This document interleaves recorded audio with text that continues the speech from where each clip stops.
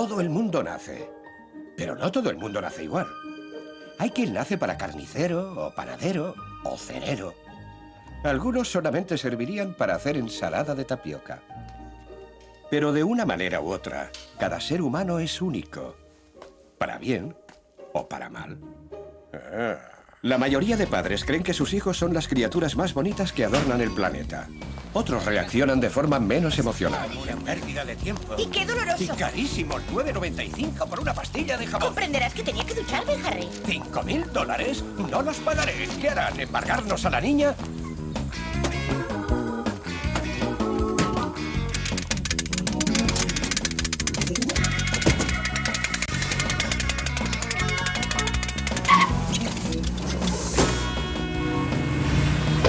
Por aquí no hay salida. Da media vuelta.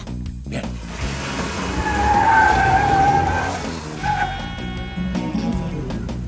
¡Harry! Ya lo sé. ¡Los Wormwood han vuelto!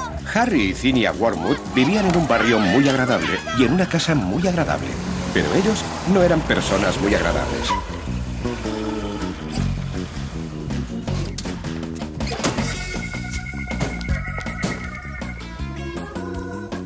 ¡Fuera de la calle! ¡Pedazo de inútiles!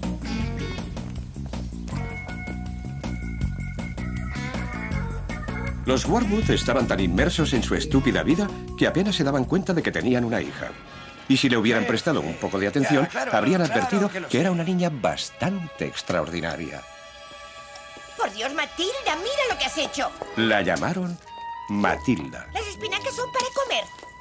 Mm. Uy, uy, uy,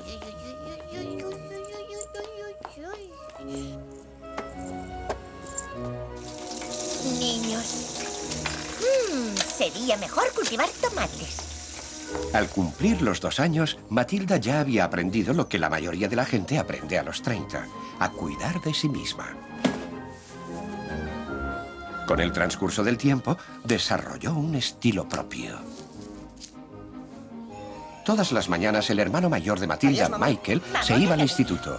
Su padre se iba a trabajar vendiendo coches usados a un precio injusto y su madre se iba a jugar al bingo. Hay sopa en la cocina. Si tienes hambre, caliéntatela. Matilda se quedaba sola. Y eso le gustaba.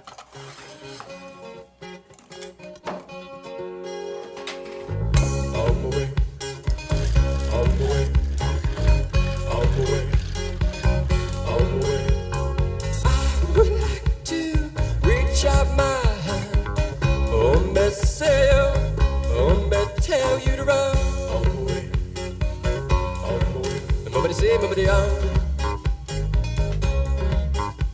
Well, pick me up with golden hand, oh, me say, oh. Al cumplir los cuatro años, Matilda ya se había leído todas las revistas de la casa. Una noche se armó de valor y pidió a su padre algo que deseaba desesperadamente. ¿Un libro? ¿Para qué quieres un libro? Para leer. ¿Leer? ¿Para qué quieres leer si tienes un televisor delante de tus narices? Un libro no te dará nada que no pueda darte antes un televisor. Quítate de en medio. Matilda ya sabía que de algún modo era distinta a su familia. Comprendió que todo lo que necesitara en la vida tendría que conseguirlo por sí misma. Adiós. Chao. Hay palitos de pescado en el microondas. A la mañana siguiente, cuando sus padres se hubieron marchado, Matilda se puso a la busca de un libro. Biblioteca pública.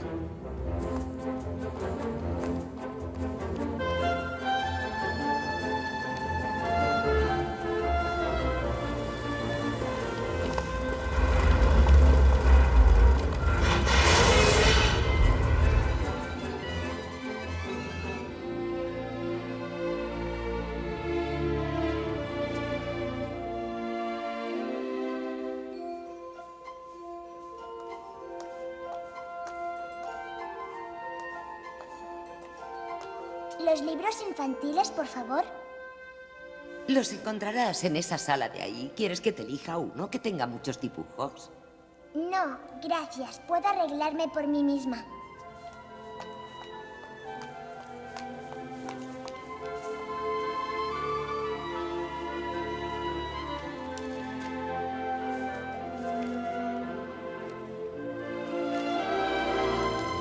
A partir de entonces, todos los días, en cuanto su madre se iba al bingo, Matilda caminaba diez manzanas hasta la biblioteca y devoraba un libro tras otro.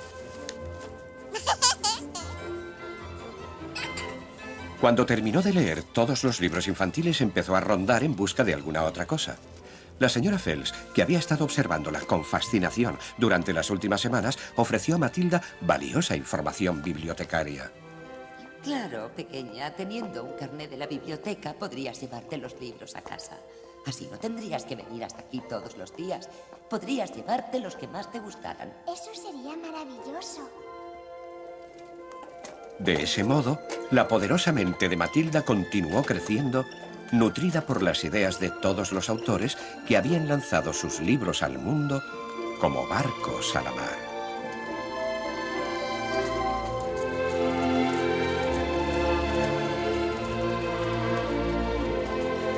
Aquellos libros dieron a Matilda un mensaje esperanzador y reconfortante.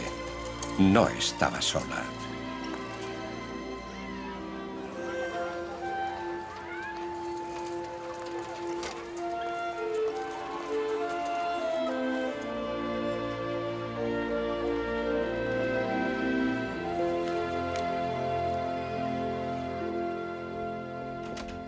¿Ha llegado algún paquete?